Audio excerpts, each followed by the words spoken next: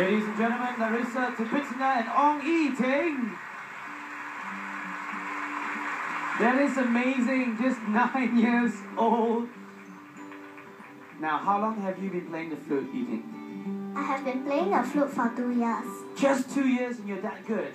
Now, you also took first place at the Young Talents Project for Symphony, playing the piccolo. By any chance, do you play any other instrument?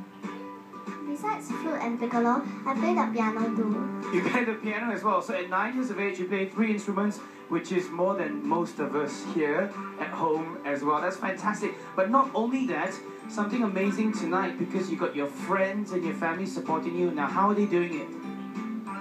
My principal and my friends told me that they'll support me and will call in to donate.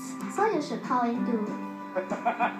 I tell you what, if Yi Ting at nine years old can't get you to donate, nothing can. Ladies and gentlemen, once again, Yi Ting and Larissa, a massive round of applause for them.